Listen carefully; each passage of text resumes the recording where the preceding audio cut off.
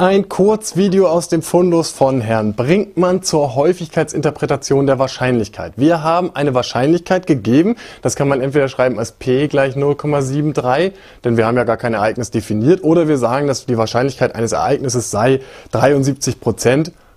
Und 73 Prozent können wir dann auch gleich als 0,73 interpretieren.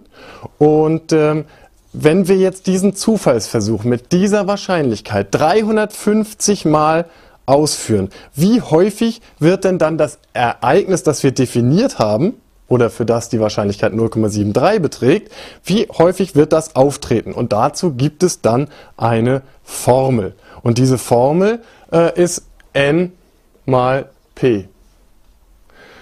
Da könnte man jetzt zum Beispiel dann auch tatsächlich absolute Häufigkeit von E1 davor schreiben, ist gleich n mal und dann können wir hier auch P von E1 hinschreiben.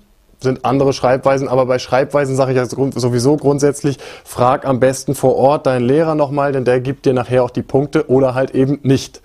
Und das Ganze rechnen wir mal 0,73 und das ergibt die stolze Summe von 255,5. Zumindest ähm, wenn wir jetzt 0,5 gelten lassen wollen. Wenn wir jetzt allerdings zum Beispiel sagen, äh, das sind, ist, ist, ist eine Gruppe von 350 Schülern, bei denen die Wahrscheinlichkeit, dass sie bestehen, 73 Prozent ist oder sowas, dann können wir natürlich nicht 255,5 Schüler angeben im Antwortsatz. Deswegen ist das ungefähr 256. Wenn wir hier 0,5 und größer haben, dann wird das ja aufgerundet. Und so runden wir dann auch auf. Und je größer diese Anzahl hier ist, desto eher wird dann diese Prognose erfüllt. Das heißt, wenn wir hier 3500 haben, dann sind das ja mal 10 die ganze Suppe. Dann haben wir hier 2560. Wir sind dann näher an 2560 dran als an 256, äh, beziehungsweise ja, wenn wir den Zufallsversuch wirklich durchführen. Hier geht es ja tatsächlich um eine Abschätzung.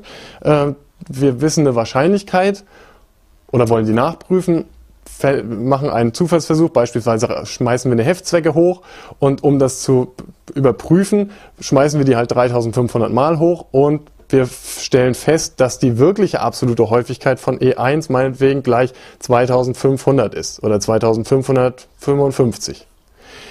Wenn wir das Ganze nochmal mit 350 hier machen, dann sieht das Ganze ja so aus, dann wäre die absolute Häufigkeit meinetwegen gleich äh, 250.